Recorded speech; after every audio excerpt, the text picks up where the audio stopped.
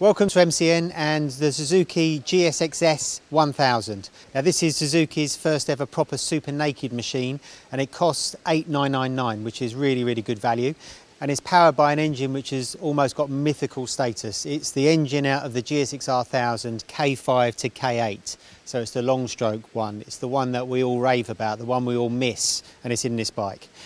Other than that, it's got a new frame. The frame's actually lighter than the current GSX-R1000s. It's got the current GSX-R1000 swinging arm, uh, and it's got a comfortable riding position, a new dash, new wheels, new tyres, new everything.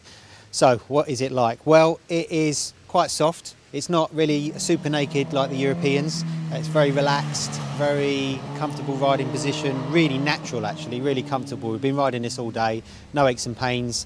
The only time you have any trouble is with wind blast, but obviously it's a naked, you're going to expect that.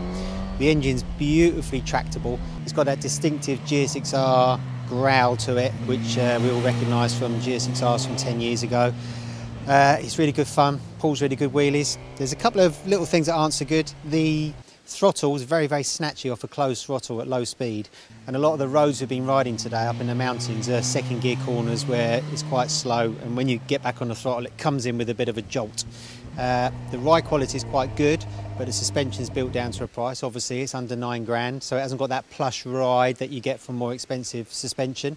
Uh, but other than that, it, it's a great bike. Where does it fit? Now, is it uh, a soft naked in the same realms as a CB1000 or is it a super naked like a BMW S1000R? Well, acceleration wise, it goes just as well as a proper full on 10 grand plus super naked.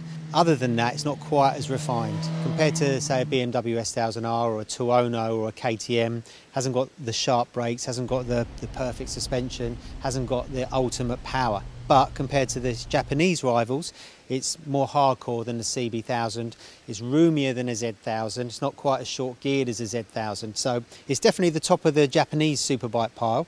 Um, but what we're going to do next is uh, when this launch is finished, we're going to get this bike back to the UK and we're going to pitch it against all of its rivals to find out exactly where it sits.